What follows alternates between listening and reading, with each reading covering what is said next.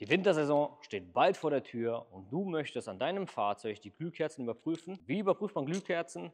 Das zeige ich heute in diesem Video. Bei modernen Fahrzeugen bekommen wir in der Regel im Cockpit-System eine Fehlermeldung angezeigt, entweder die Motorlampe oder eine blinkende Glühspirale. Mit der Diagnose lässt sich feststellen, an welchem Zylinder die Glühkerze defekt ist. Doch wie gehen wir bei älteren Fahrzeugen vor, wenn uns der Tester nicht sagt, welche Glühkerze ist an unserem Motor defekt? Doch welche Symptome verursachen defekte Glühkerzen an einem Motor? Hier drei Beispiele. Erstens, schlechter Kaltstart. Zweitens, unrunder Leerlauf kurz nach dem Kaltstart. Und drittens, Rauchentwicklung. Entweder weiß oder grau. In der Hand halte ich zwei verschiedene Glühkerzen, einmal Audi, einmal Mercedes. Eine von den Glühkerzen ist defekt. Optisch sehen beide aber in Ordnung aus. Es gibt mehrere Möglichkeiten, Glühkerzen zu überprüfen. Variante 1 wäre Multimeter. Wir können den Innenwiderstand einer Glühkerze überprüfen.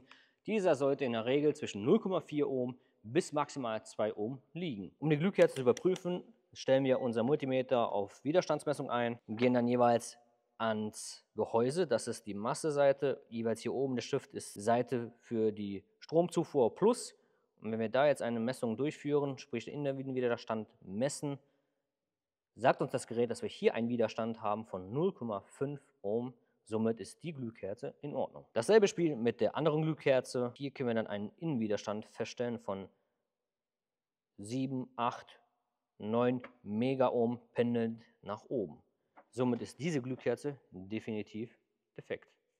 Zweite mögliche Variante wäre, wir prüfen die Stromaufnahme an jeder Glühkerze. Defekte Glühkerzen tendieren eher, eine hohe Stromaufnahme zu haben. Das Ganze lässt sich mit modernen Testern bei modernen Fahrzeugen auslesen. Bei älteren Fahrzeugen brauchen wir noch spezielles Mittel wie eine Strommesszange. Und genau diesen Fehler solltet ihr nicht machen. Prüft eure Glühkerzen nie an einer 12 Volt Stromversorgung. Denn es kann passieren, dass ihr somit eure Glühkerze bestätigt. Denn die ist innerhalb von wenigen Sekunden defekt, wie beispielsweise in dem Fall. Jetzt gehen wir mal richtig Vollgas hier.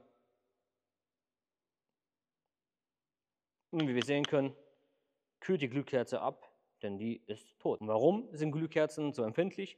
Aus dem einfachen Grund, viele Glühkerzenhersteller arbeiten gar nicht mit einer 12 Volt Stromversorgung, sondern mit einer PWM-Steuerung von 4,4 bis 7 Volt. Falls ihr an eure Glühkerzen drankommen könnt, müsst ihr die Glühkerzen noch nicht mal ausbauen. Ihr könnt die im eingebauten Zustand prüfen, indem wir jetzt einfach, wie vorhin, jeweils oben einmal die Messspitze anbringen, sprich an die Plusseite von der Glühkerze und einmal gegen Masse vom Motorblock.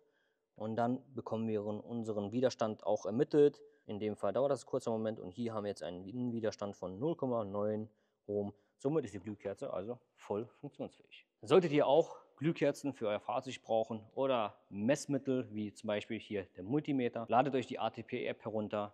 In der ATP-App bekommt ihr mit der Schlüsselnummer nicht nur Ersatzteile für euer Fahrzeug, sondern auch Werkstattausrüstung, wie zum Beispiel der Kfz-Multimeter. Hattest du schon mal Probleme mit deinen Glühkerzen? Wenn ja, lass es mich wissen. Hau es in die Kommentare. Folgt uns auf Instagram, Facebook und nicht vergessen, Lasst dem YouTube-Channel ein Abo da. Wir sehen uns ein nächstes Mal, das Team von ATP Autoteile.